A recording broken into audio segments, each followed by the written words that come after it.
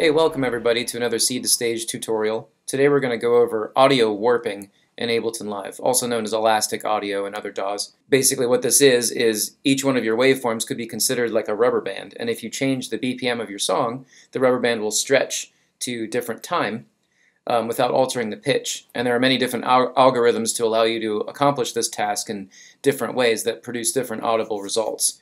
But essentially, what you can do, um, and I'm going to do this really quick because I really want to get to the meat of this, and that's altering multiple waveforms at the same time, like if you record a drum set. But essentially, you can go in here, and each one of these little transient markers right here, you can see this little transient marker, I can click on this and move it. So let's go ahead and listen to what I have here.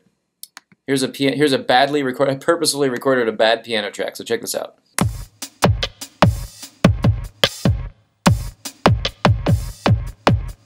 Okay, and then here's the piano track.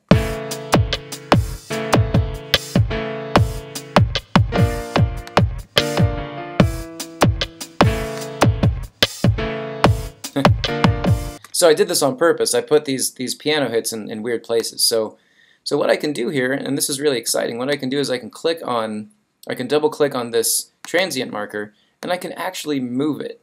So let's go ahead and move this piano marker maybe to the and right here, and listen to what our result is. Okay, I don't really like it there, maybe I'll put it here. Don't like it there, maybe I'll try here.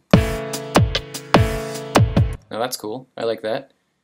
And as you can see, when I pulled that, I'm going to undo this, when I pulled that, this the rest of the entire waveform stretched as well, okay?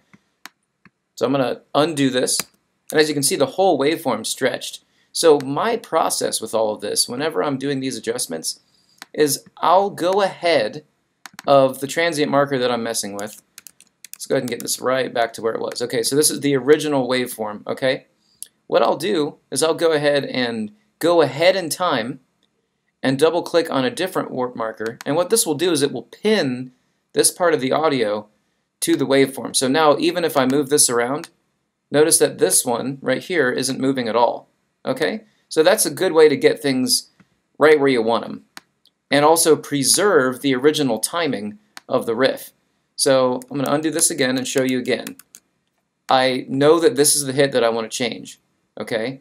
I'm going to go ahead in time and double click on a different hit, or transient you could call it, and pin it. So now I can go in here and I can move this warp marker.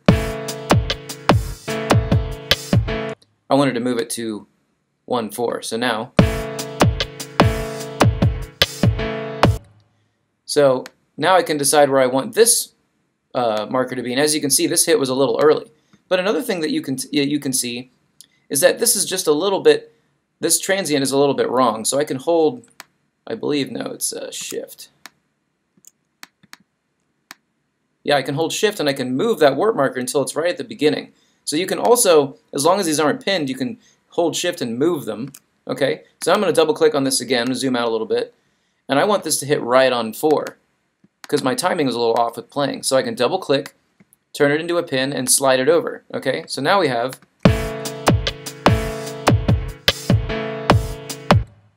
Okay, and now we have those three hits right where I want them. So remember, um, I you know I should I, I should have went I should have went ahead and and and uh, made a marker in front because that's my normal workflow. But it's okay if you don't if you know what you're doing as long as you don't get lost. So essentially, now I have this.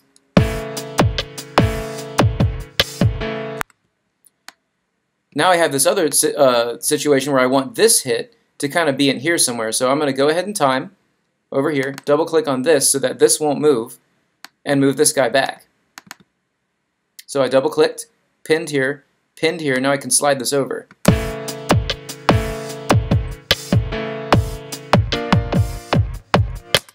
And I want the next hit to be right here. So I can, now that I've double clicked that, I'm just going to go ahead and lock this part in time, move this over. Let's go ahead and listen now.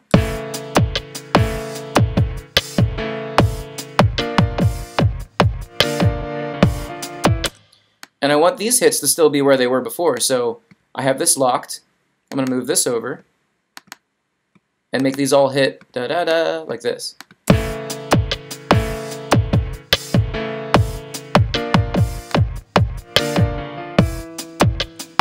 And I want my next hit to hit right here. So again, this is just the, this is the process. I'm going ahead in time, locking other things in, and I'm dragging things back. I know I want my next hit to be between 6 and 7. So I'm going to drag that over. And, and this time I'm not going to lock these in because I want them, I kind of want more audio to work with. So I'll put that right here.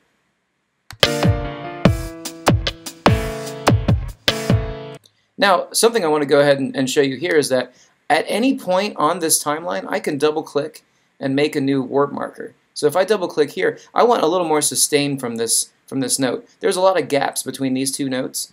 Okay, what I can do is I'll double click right here on the end and check this out. I can actually stretch the audio back over and get a little more sustain here.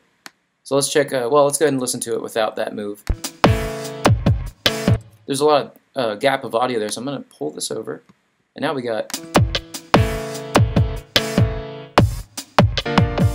And so now, um, these last two hits, kind of decide where they're going to go. So maybe I'll go, uh, and I'm not going to go ahead in time because I, I, don't really mind too much having this be able to move around because I'm reinterpreting this whole riff. Um, let's go ahead and maybe move this right here and maybe this right in the middle as well. And let's take a listen to what we got.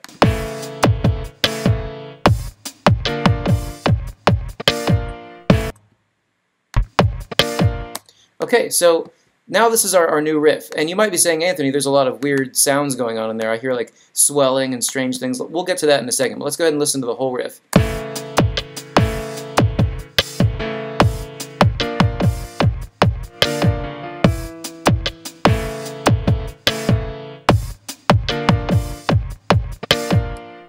Okay, so you've heard all the all the strange sounds that are going on. Well, that's because what we have is we have different algorithms or, or warp modes, as Ableton calls them, to deal with different types of audio. Right now we have it on beat mode because 9 times out of 10 people using Ableton Live are beat matching and they're using uh, the different loops uh, that have percussive elements and they're, they're stacking them on top of each other. Well, Ableton goes a lot farther than that and there's so many different ways to interpret uh, elastic audio. So another thing I can do is I can switch over to tones and what it says is uh, uh, tones for clearly pitched audio. So this is going to have less of an effect on the transients, the actual uh, uh, clicky sounds of the audio, and it's going to it's going to focus more on preserving those notes and not allowing as many artifacts to happen over notes. So let's listen to the difference now.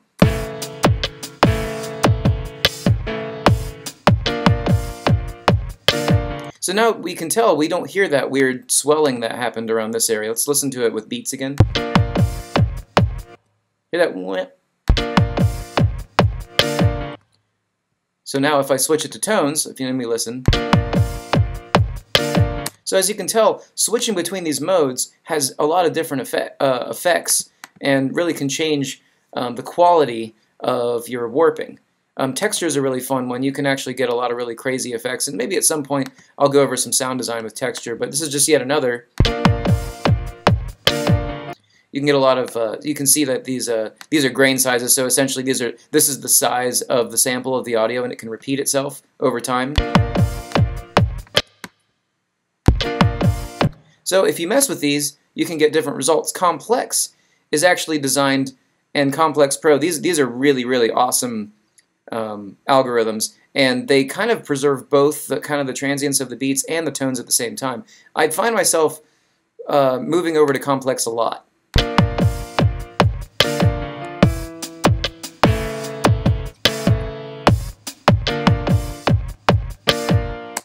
Okay, so now I've, I've effectively uh, warped this piano, and it's, it's, it's how I want it. So what I'm going to do now is I'm going to load up a set with a full drum kit recorded. Okay, so here we have a multi-track session where we recorded multiple tracks of a drum kit. We've got kick in, kick out, snare top, snare bottom, toms, hi-hats, uh, overhead mics, and all this other stuff. So when you go to adjust timing of someone who's playing a full-on kit, you're going to have to adjust all the waveforms at the same time to avoid phasing. So um, something that's really interesting is that when when live records long waveforms like this, like long sessions, like full-on song takes, um, usually they're not warped. So the the method that I like to use is only select parts of this of this track here that need to actually be fixed. And so I've determined that this section of the drums um, I want to fix. So what I'll do is I'll actually click at a place kind of before the part starts and, and a little bit past where the part ends. And so what I'm going to do is I'm going to select all these waveforms at the same time. So from I'm going to click from here. I'm going to go all the way down to the bottom um, and I'm going to shift click so I've selected the whole thing. Now the next thing I'm going to do is I'm going to hit Command E, which will split the waveforms. And then in order to do any sort of warping of the audio, you have to turn the warp switch on. So when I turn the warp switch on, boom, here we go. We've got all of the tracks. And as you can see, it says 12 clips. So when I'm editing this, if I have to make sure that there are 12 clips being edited all at the same time, or I'm really going to lose my place and get really frustrated. So the next thing to do is determine which of these audio tracks you want to actually look at when adjusting the, the, the time. What I like to do is I like to look at the overhead track. If I were to go ahead and click here, whoops, now you can see I've unselected all of the other tracks. So it's really important to have all those tracks selected. So I'm going to click on the drum head and I'm going to shift click up here and determine that I have 12 clips selected. So anyway, now that I have all of these clips selected, what I can do in order to just focus on the overheads is command click on the overheads once, and when I command click again, you'll notice that it switches to the overhead track that I'm looking at. And the reason I like to use the overhead mics is because they're they're pretty much uh, grabbing all the information. We've got kick drum, we've got snare drum, cymbals, everything. Every single hit is captured by this track, and they're close enough to the mics that the transients won't be too far off. So again, let's go ahead and listen to this. Now, in this situation, you want to be even more careful that you're going ahead and choosing a transient that's you know that you're probably not going to edit. So you know this one's. Um, let's go ahead and find one that's that's pretty close. This one's pretty close. So I'm ahead in time. I'm blocking, I'm pinning the audio here ahead in time, and I'm going back to the beginning. Now I've left on this session one of the backing tracks of the, uh, the production drums over top of the acoustic drum so I have some reference. Because I'll spare you guys from using the metronome. And I'll go ahead and play this track. So as you can see, I've got hits all over the place. So what I can do is double click on the first transient. I'm going to slide it. And as you can see, I'm just double clicking, um, locking things in place, moving warp markers just by double clicking and moving them. So sometimes they're, they're right where you want them, sometimes they're not. It's really important to be able to zoom in and zoom out by grabbing this, this top right here and looking really closely at this audio. Now here's a situation where if I move this marker, all three of these are going to move. It's elastic, right? Think of it as a rubber band. I'm moving this part, so all these other clip markers got closer to where they're supposed to be. All right, so I'm just moving these things around. Um, you don't have to put a warp marker on every single one as long as it's resting in the right spot. Do you see how this one's resting in the right spot? Um, and I still have my, my warp marker that's ahead. Okay, double click, double click, that one's okay. Moving this one around. Always looking, always checking. So the next thing I want to do is now that I've got kind of, I'm pretty close to, to my ahead time warp marker, I'm actually going to get this just about where I want it. Oh, here we go. Here's a situation where the warp marker didn't actually go to the right spot. Now remember, you hover over it, hold shift, and you can move the transient marker. So now I can double click and put it where it goes. So essentially now I have my, my, my kit. Now the next thing I want to do is I want to check. So I'm going to go ahead and play this.